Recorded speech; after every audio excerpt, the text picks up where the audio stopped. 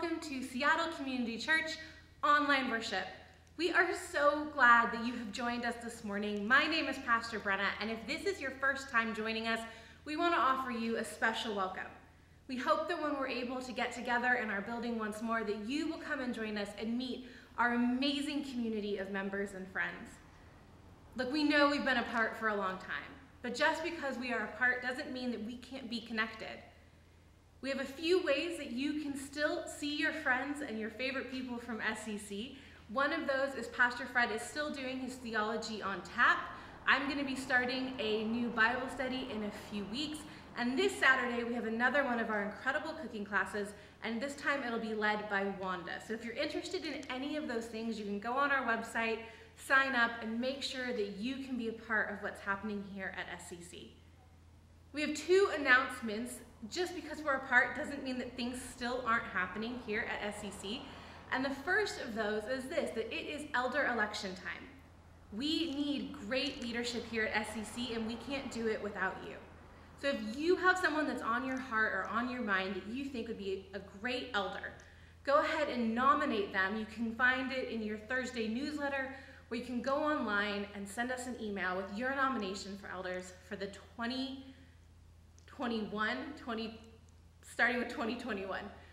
Uh, also, lastly, it is the time when OM2 is gathering uh, missionaries and mission support groups, applications that are looking for long-term funding for the year, for next year. So if there is a person or a group that is doing incredible work here in Seattle or around the world that you want to make sure gets help funded by SCC, please, please, please make sure that you get those applications in by the 26th of July. If you need that application, you can find it online. You can also email Jay or myself or Bo, and we can make sure to get you that application so that people serving God all around the world can continue to do their work with help from us here at SCC. Friends, we are so glad that you've joined us for worship. Let us prepare our hearts in praise.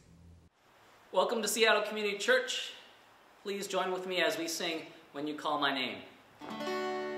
I, I picked this song because uh, as we go through this struggling time, uh, there are a lot of opportunities for us to share God's love with others, be it our neighbors or any other coworkers or friends that are going through struggling times to uh, lend a uh, helping hand or a you know, caring ear.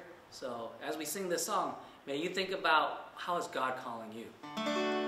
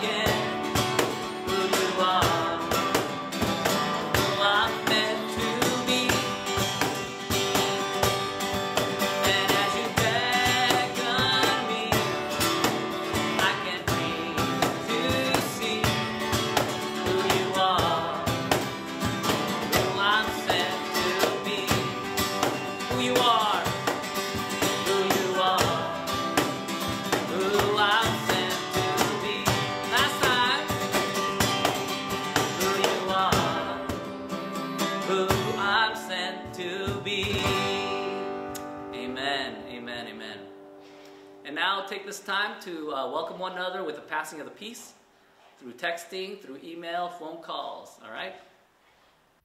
Hi, SCC family. It's Ellen here. I hope everybody's doing well, staying safe, and taking care of each other during COVID 19 quarantine.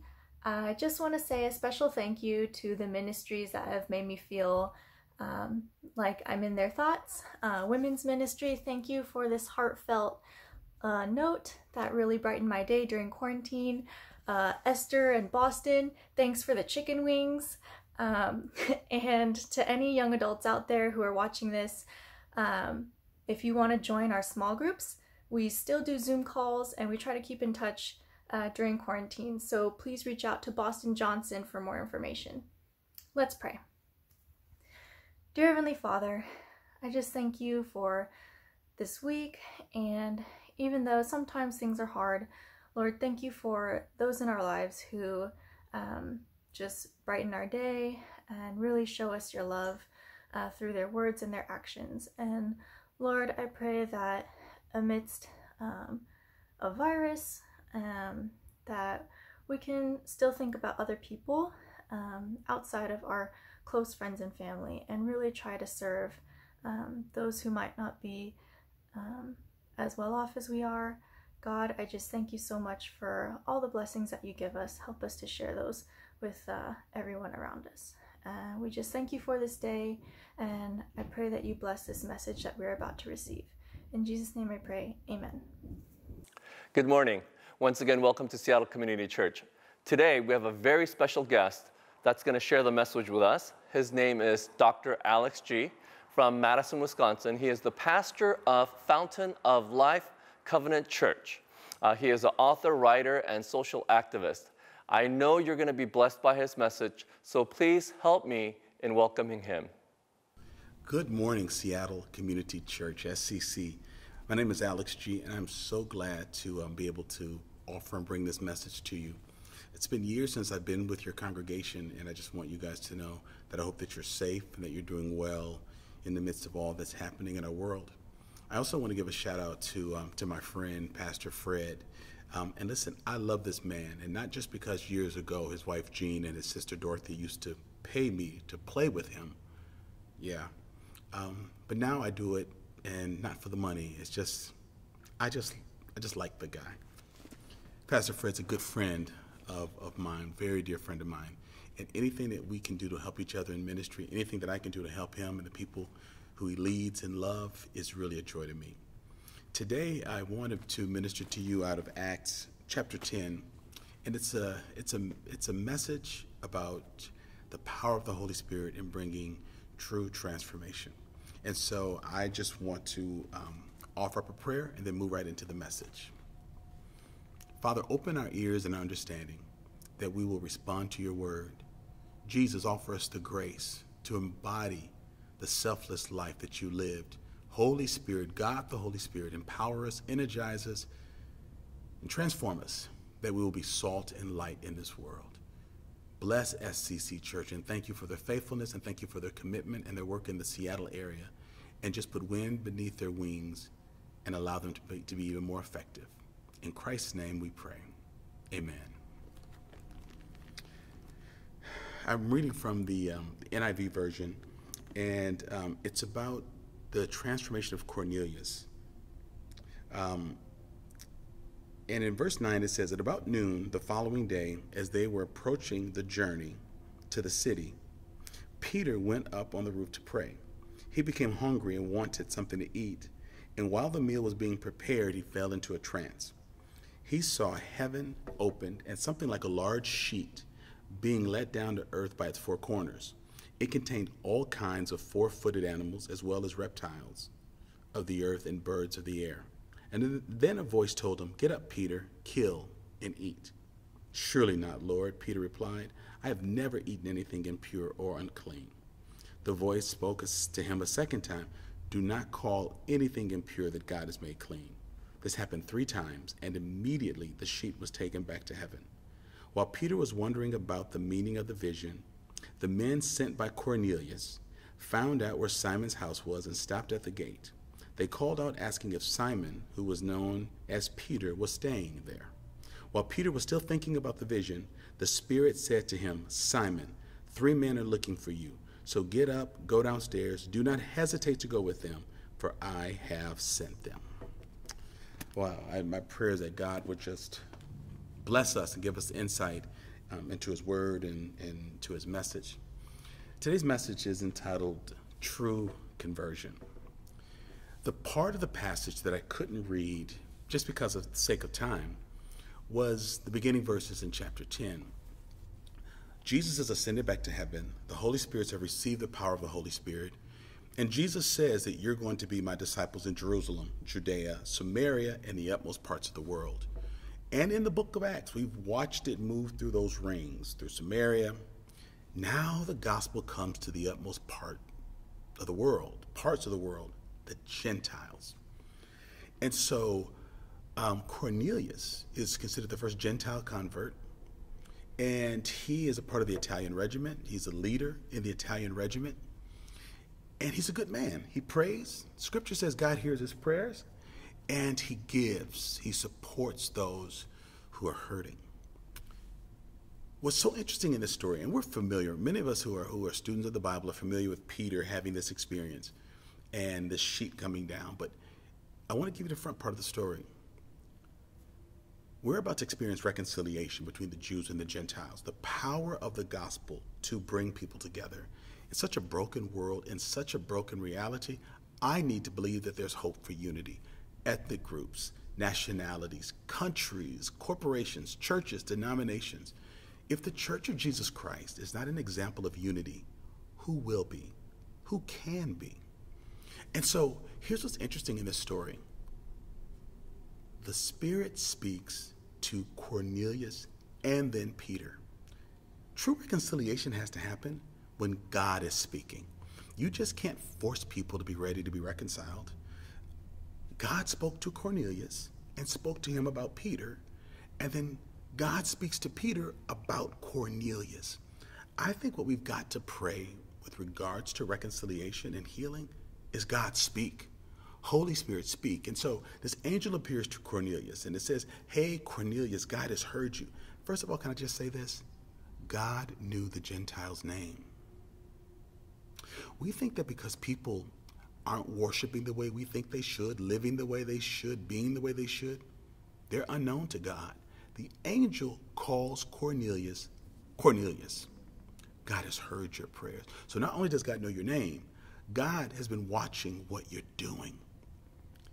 There are people who God is drawing into the family, and God is speaking to them, and God is seeing them, and God knows their name. That might change the way we talk to people about Christ. Rather than telling people, why don't you just come out of obscurity and just meet God? And they need to come out of obscurity and meet God. But what if we told people, look, God already knows your name, God knows your pain, God knows your story. Why don't you bring it to the God who knows you? Thank you, Jesus. Whew. Sorry, let me slow down. I'm getting a little excited. My black Pentecostal side's about to come out. Down, boy, down, boy. So Cornelius sends people to go get Peter. This is what the angel tells him to do. While they're going to get Peter, which is about 30 miles away, first of all, this is hunger for truth. God, give people hunger for truth. They walked about 30 miles. While they're approaching Peter, Peter falls into a trance up on top of the house. And we know this story the sheep comes down. Peter, eat. And Peter's looking, and it's like birds and reptiles. And Peter's like, I'm a good Jewish boy. I've never had any of that. It's not going in this good Jewish mouth. Here's the thing it was Gentile food. And those, if the Gentile food was nasty, then those who ate that food was nasty. Now, this is something I understand. As an African American, I love soul food. And so sometimes when you, you know, just years ago in school or my first jobs out of college, I might take some of my soul food to work and warm it up in the microwave. And, you know, people might not like the, like the way some of the stuff smell when it warmed up. Like, oh, what's that? And when you insult my food, you insult my culture, you insult me. So Peter really was saying, looking at the food and saying, gross. We don't eat that. Nasty, uncircumcised Gentiles eat that stuff. And so if the food is nasty, those who eat it is nasty. Peter had it already in his mind that Gentile people were nasty because their food was nasty, because that was the way they were given the law. God says, Don't you call anything unclean that I've called clean. But, but basically, God was saying was, Dang, Peter, your standard's higher than mine. The sheet goes back up into heaven. Scripture never says that Peter ate it. Scripture never said that Peter ate it. And so while Peter's still trying to think about the vision, the men, the Gentiles who Cornelius sent are knocking at the door. Is there Peter here? Is there Simon Peter here? The Spirit then speaks to Peter. There are men down looking for you. I have sent them. Go quickly. Do not hesitate. Peter goes down. God says, don't hesitate. Peter goes down. He says, what do you want? Like, why are you here? Um, not hello. Come in and tell me what the Lord is saying. Like, what do you, what do you want? What, do, what are you doing here? Listen, Peter walked on water. He's said to have cut off the high priest's servant's ear. Jesus attached it. He saw the miracles of the loaves and the fish, Lazarus coming from the dead, the widow of Nain's son being raised. I mean, he rolled with Jesus and saw miracles. And Jesus says, Pete, you're going to go with me and go for me in Jerusalem, Judea, Samaria, and the utmost parts of the world. Where did that go? How could Peter forget what he personally heard Jesus say? Then now the Father is speaking, saying, Rise, Peter, slay and eat. I'm sorry, I still know that in King James. Rise, Peter, kill and eat. He's like, Nope, I'm not doing it. Then the Spirit is saying, Go and follow this, these men. Do not hesitate. He's hesitating. What, what, what, are y'all, what are y'all doing here? So Peter gets up. He goes with them.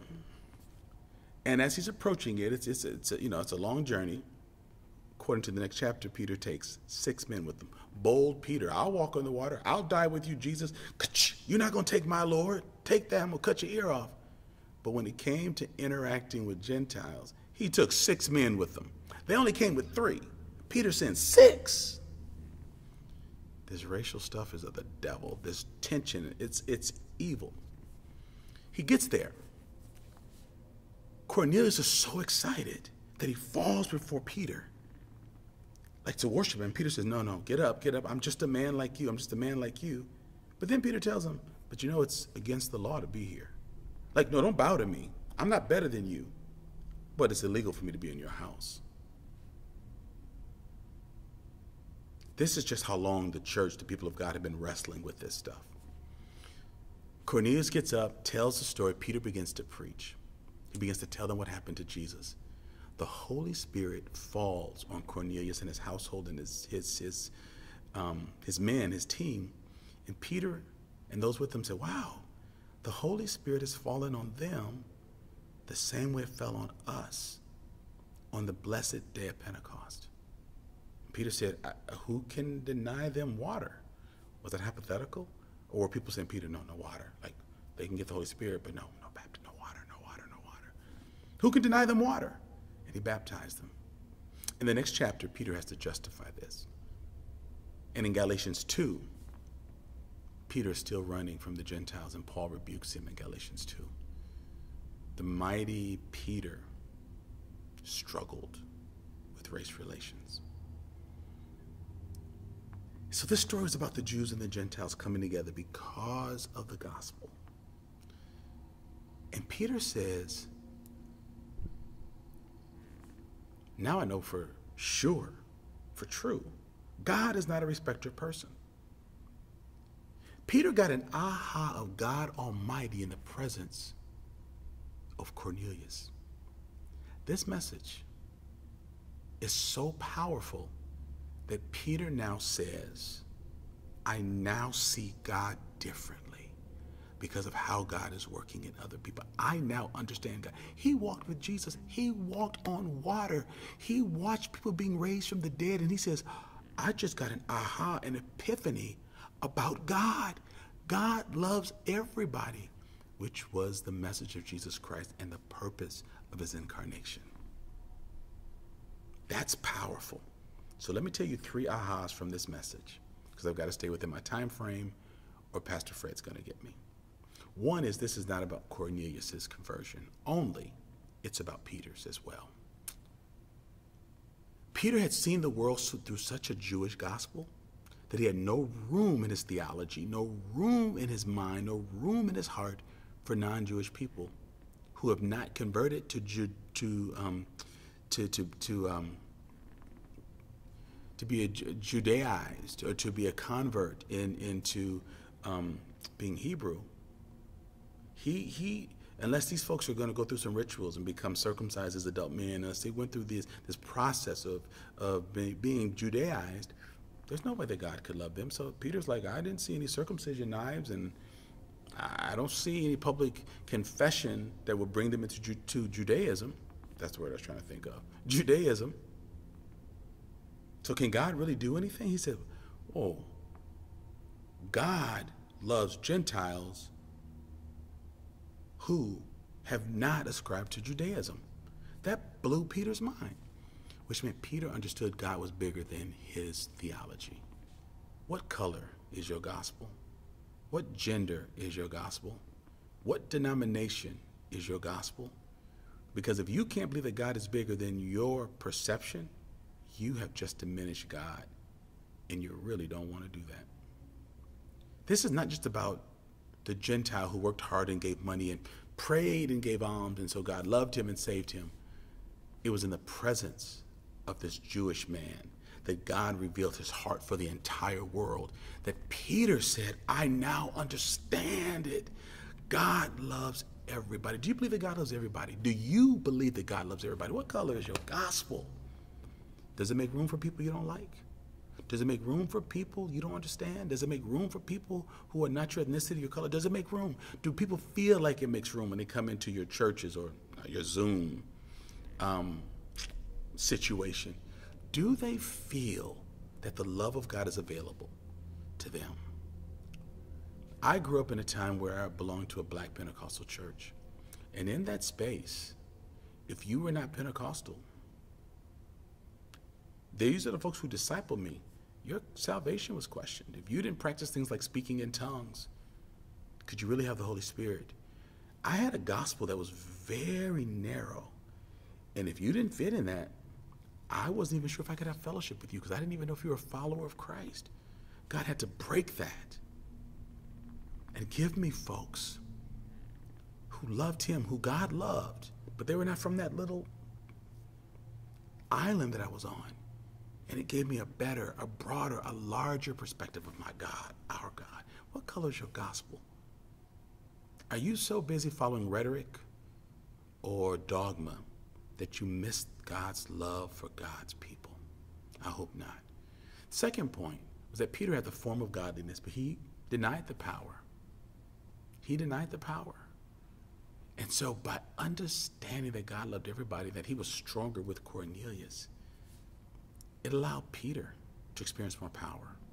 There are four clear uh, ex- experiences of Pentecost when the gospel go- when goes be- beyond a barrier, like in Acts 2 when there's unity, or when the message hits the Samaritans, or here when it hits the, um, the Gentiles. When you see this happening, when you see the Spirit just moving people beyond their own cultural boundaries, new power comes. And so Peter just had this form of godliness because he was telling God, no, no, no, God, you're too easy on these folks.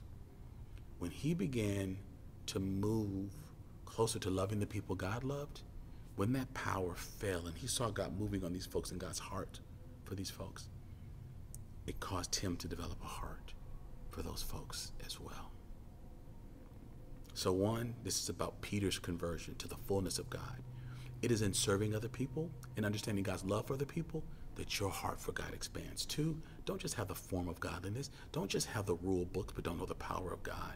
When Peter saw the power of God fall on Gentiles, he realized that there was a part of God he was missing, and it opened his heart to receive more of God. That's why he said, Oh my God, Eureka, God loves it. I understand God better. When you understand God better, you get power for serving God. And there's power in unity. The more diverse our churches become, the more we love and hold each other, the more God's power is going to fall on us.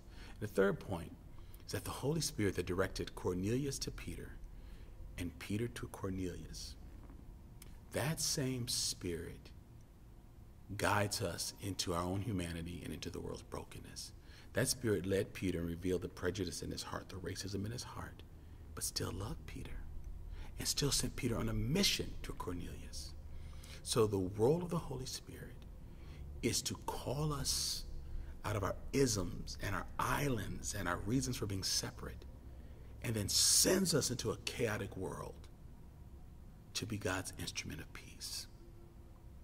Peter was called to be God's instrument of peace, not tool for division. Are you an instrument of peace or tool of division? Do you seek to understand? Do you seek to lean in? Do you seek to know the mind and the heart of God? Because if not, our gospel is limited. Our access to God is limited. Our understanding of God is limited. Therefore, the work of the church and the people of God is limited. But when you understand, like Peter did in verse 36, God wants the entire world saved. How can you not love those who God loves? How can you not share a meal with those who God loves? How can you not offer grace or love to those who God loves?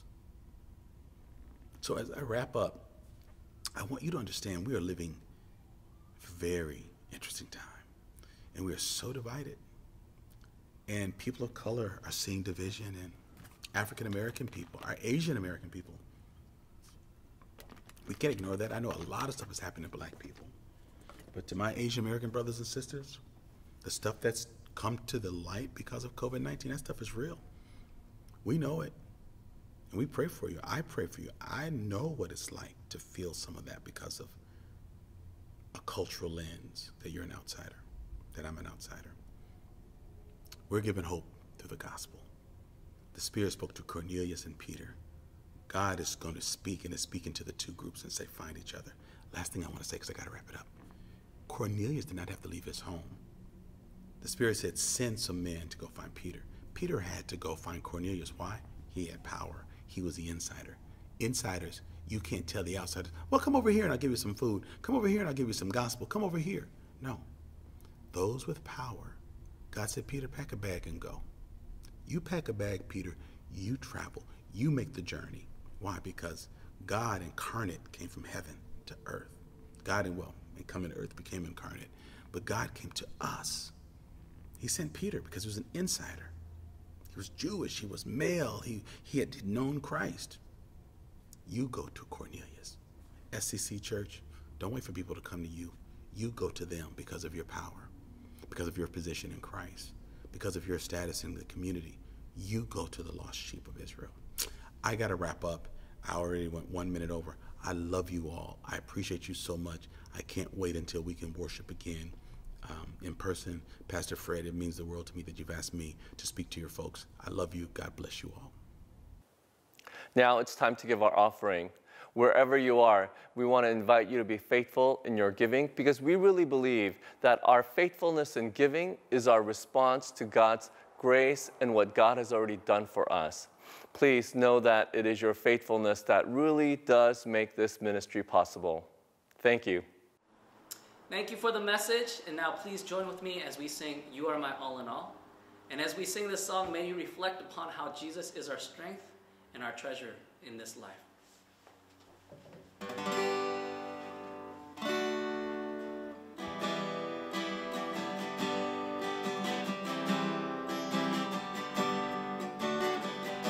Jesus.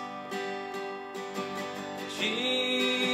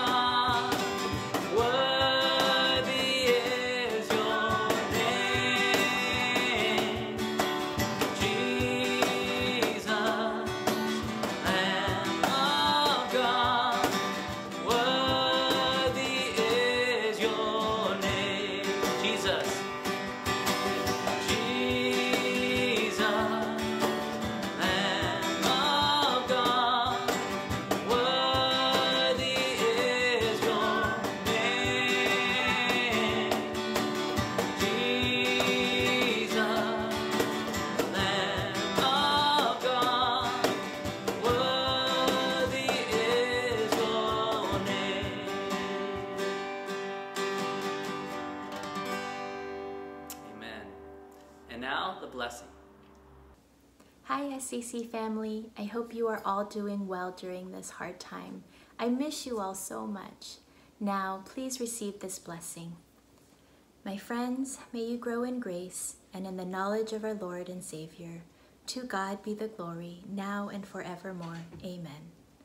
Have a wonderful week, everyone.